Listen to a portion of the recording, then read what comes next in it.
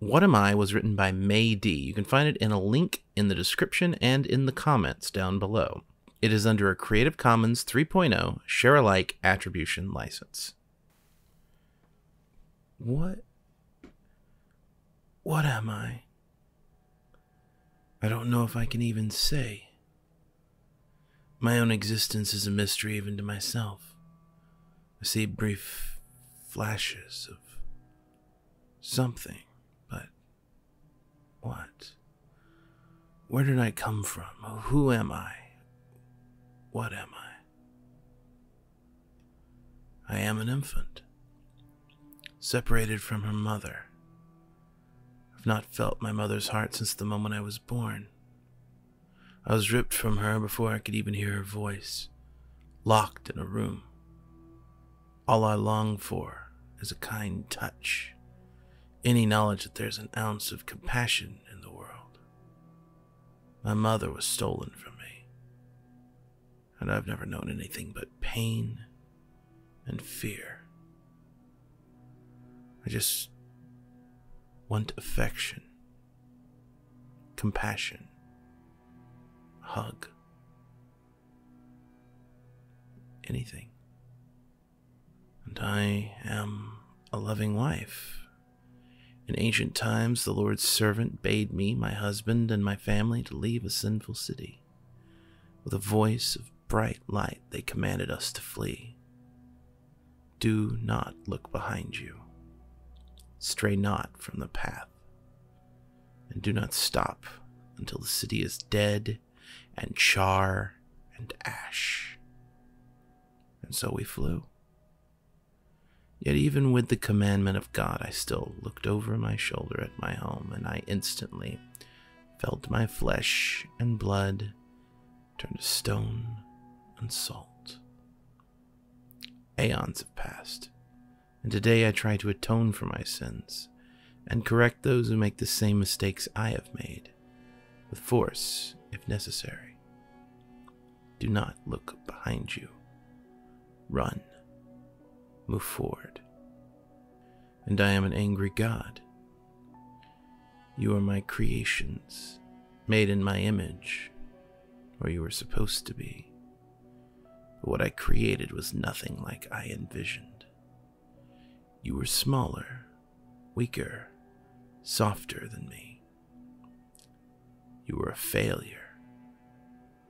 But I am a merciful God and I let you live out of the kindness of my own heart, and you toss that back in my face.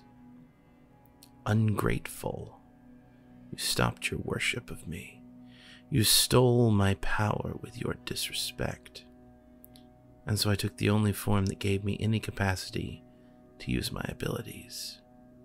One of the idols you created of me, a mocking form and I am from before God was broken. I was His Word. I was to spread through all the corners of the globe. This was before humanity began taking its first tentative steps into the light. They were impressionable, malleable. They saw the glory that was God, and He spoke through me, gave me purpose. I will never experience the same terror that was brought on the world as God was broken. The pain, the fear, I felt all of it. And it broke me. And I am an incomplete human. Clay to the touch. Prometheus created humanity and set them on a forward journey, gave them fire the drive to become better. Prometheus formed humans out of clay, ensuring they were formless and could make themselves into the best that they could be, but they weren't his first attempts. There were failures, many of them, including myself, and I was tossed aside, broken. A facsimile of the human form and it hurts. It gnaws at me. I hate them for they were given the chance I never was. And I am a slave, but no more. They took me from my lands, chained to all the other poor souls around me, who were forced to work, to build, to raise. The work broke you, your body, your mind, your soul. I had to escape, and I watched the guards for days, weeks, months, until I saw my opening. I was careful only ever moving when no one could see me, until I was finally free. And I am a prisoner. Every day, all I see is four walls, a window, and a door. All day, every day, every week, every month. Four walls, a window, a door it's all I've ever known. Occasionally, the door will open and men will enter. My first contact with the outside world in days. The door is open. I can get out. I rush for it, but I can feel someone's eyes boring into my back and they leave. Four walls, a window, a door. I'm a hunter. Hunting is an art. You need to have an eye for detail. Yet where the artist wants to be noticed, the hunter does not. I wait, often for hours on end, waiting for the prey to turn away. And that's when you strike. You have to be quick, so the prey doesn't have time to react, to fight back. And they will fight back especially since I hunt the most dangerous game. And I am an artist, lost in my own vision. I want to create a piece that would speak to all people of all creeds. It was my view of humanity and the fate I fear it will meet. I've created art before, but this was to be my magnum opus. It would change the world. I poured time, sweat, blood, even my soul into this piece, and it consumed me. The last thing I remember is lying in a pool of my own blood. And I eventually woke up within the very artwork I had created, surrounded by reds and browns. I don't know where I am.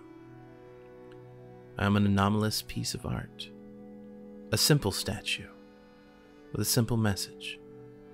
Beauty is in the eye of the beholder. Better keep your eye on this one so it will always be beautiful. Are we cool yet? I am an appropriated piece of art. I was revealed in 2004 by a Japanese artist, and people stole the images of me and through those images created something warped. The artist's vision of what I am and what I represented was muddled and lost by a storm of people writing. And now, years later, I'm afraid the artist sees me everywhere. But I'm not what he created. I am nothing. I do not exist. And I am fictional. 233 words compose my body. Yet, even with so little, I evoke fear in those who read me. I came from a time and place on the internet where scary tales were common, and I prospered then. I was different. I was special. And I was the start of something big. I am an inspiration I am living proof that great things can come from the strangest places. My very existence created the spark of inspiration in hundreds, no thousands of people. I single handedly created an entire genre of creative fiction, which itself has spawned thousands of works. countless art pieces. People look at me and think of the past, but I'm the one who let them get to the now.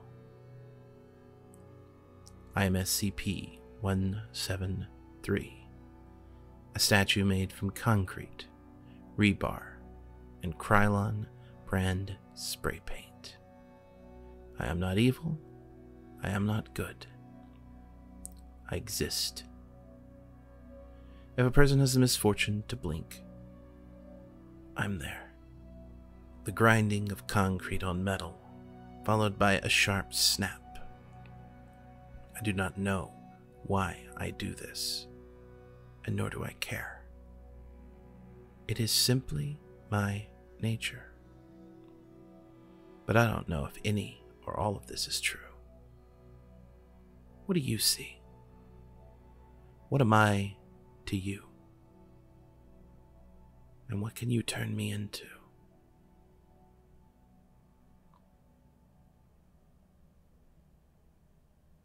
Thank you very much for watching. If you enjoyed the video, hit the subscribe button and then hit the notification bell next to that so you're notified when I upload new videos. And then head on over to patreon.com forward slash dcimmerian and pledge at any level like everybody here on the screen already has, including Sinjariki, who's pledged at $100. It's nice to know that I'm not alone out here. And I will see you all again on Tuesday.